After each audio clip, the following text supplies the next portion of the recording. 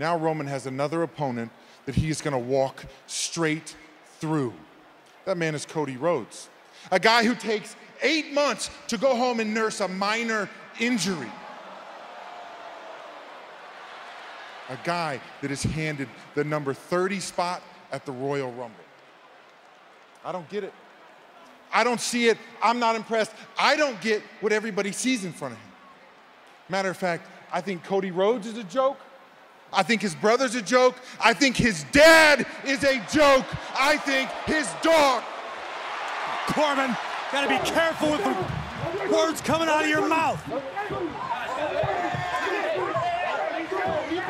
Get a ref. Bring it on.